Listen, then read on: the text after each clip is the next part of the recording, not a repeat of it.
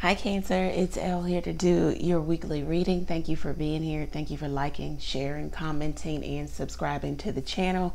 It is much appreciated. All links are below if you need to get in contact with me. Uh, thank you for being here again, Cancer.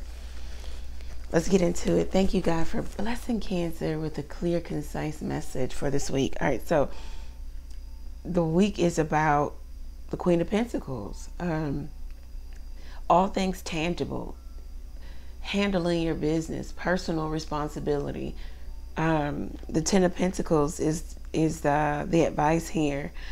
Um, so you may have something to do with contracts, uh, work, being a working mother, getting everything done, um, getting things established, being organized. Uh, also, with the Two of Swords coming out as the outcome, something about negotiations and contracts here. You may have a windfall of money come into you, um, but it's also about you getting, having a plan to fulfill your long term goals, okay? Because a goal without a plan is just a dream, okay? Uh, or just a wish.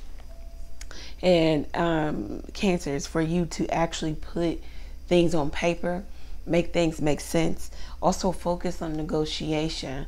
Right now you may be at a place of a uh, kind of like stagnant, a stalemate. You don't know which way to go. You don't know what to do. Um, if you need help, ask for it. Also, um, you may have decided to be friends or, or have a friendship with someone that maybe wants more from you, or vice versa, or maybe mutual. But right now, you're just trying to maintain a calm demeanor, a calm expression or approach to this situation here. The advice here is the Ten of Pentacles. Again, focus on contracts, negotiations, responsibility, um, values, getting things done. Um, the advice is stay home. If you don't like your family, go create your own. Um, the family that you were born into.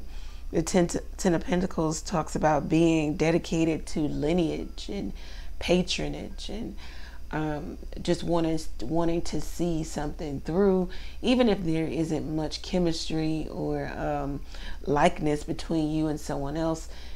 The the greater goal is um, value, family values, lineage, um, developing or maintaining an empire here. Um, you and someone could be at a power struggle right now. It's like this once again, this person wants more from you you could be a Cancer born from June 28th to July 2nd, also.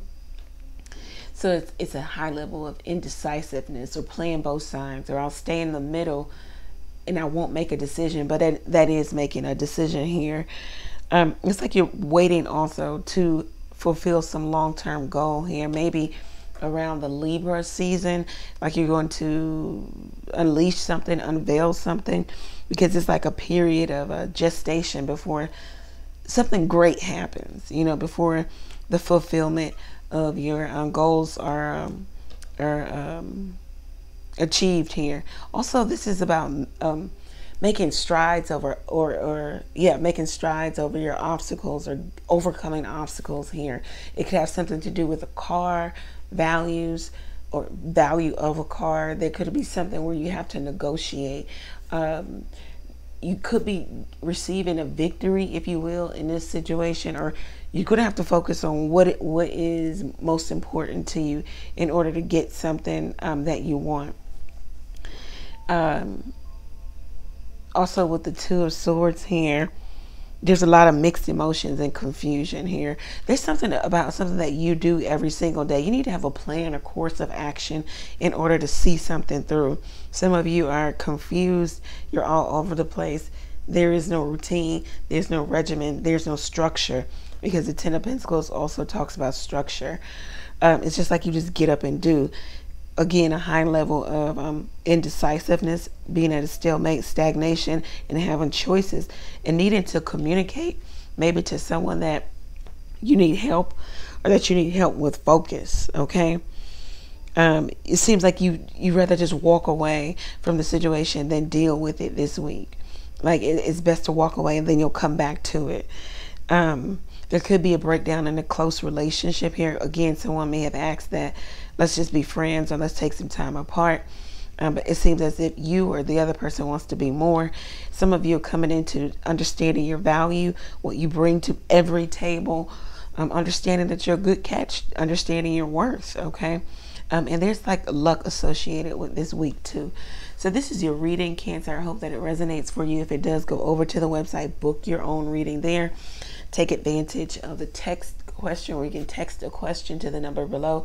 You can also donate to the channel by clicking the Buy Me a Coffee link. Thank you, Cancer. Many blessings to you.